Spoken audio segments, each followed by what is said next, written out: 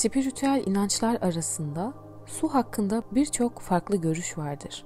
Bazı inanç sistemleri suyu temizleme, iyileştirme, enerjik olarak yükseltme gücüne sahip olduğuna inanırlar.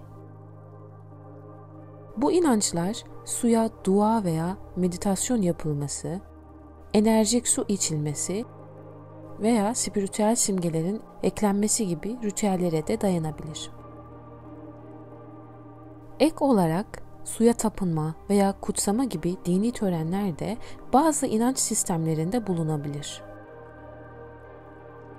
Suyun bu özellikleri inanç sistemine göre değişebilir ve suya dair inançlar insanların yaşamlarına farklı şekillerde yansıyabilir.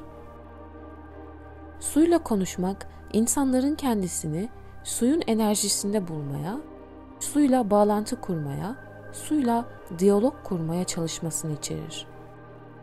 Eğer doğru teknikler uygulanırsa ruhsal dengeyi sağladığına, enerji frekanslarını harekete geçirdiğine, insanların rahatlayıp enerjilerinin yükseldiğine inanılır.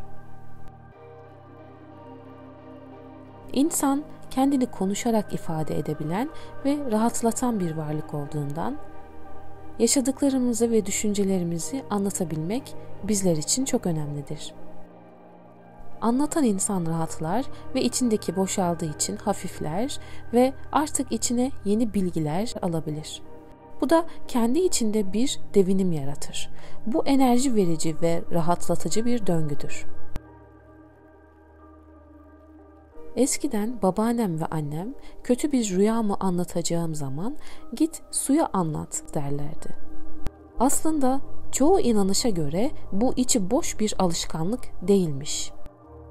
Olumsuz, negatif olan şeyler anlatılınca, bizden çıkınca etkisi azalıp kayboluyor, anlatamayınca da içimizde kalıyor.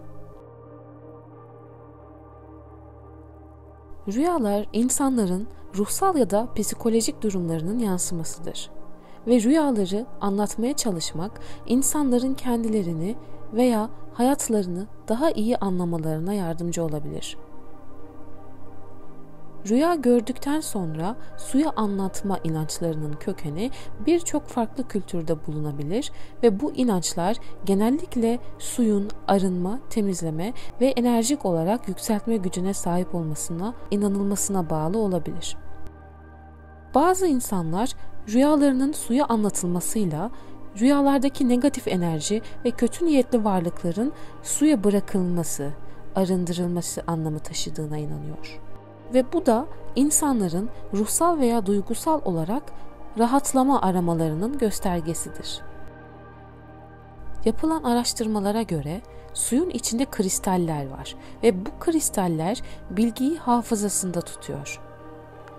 Suyun hafıza hücresinde 444 bin hücresinin bulunduğu kaydedilmiş. Hücreler arasında bilgi alışverişi su sayesinde oluyor su bir bilgiyi alıyor ve diğer hücrelere taşıyor. Yani demek oluyor ki sizin günlük konuşmalarınızda söylediğiniz birçok şeyi su kopyalıyor ve hücrelere dağıtıyor. Sözlerinizle kendinize neler yapabildiğinizi bir düşünsenize. Ben şanslıyım dedikçe şansı, şanssızım dedikçe şanssızlığı, mutluyum dedikçe mutluluğu ve mutsuzum dedikçe mutsuzluğu kendinize çekip çoğaltıyorsunuz. Bu hem korkutucu hem de değil. Aslında bunu nasıl kullandığınıza bağlı. Bedenimizde %70 oranında su var. Vücudunuzdaki suyu programlamak hayatınıza muhteşem değişimlere yol açacak. Ama bunun için önce vücudumuzda yeteri kadar su bulunması gerekiyor.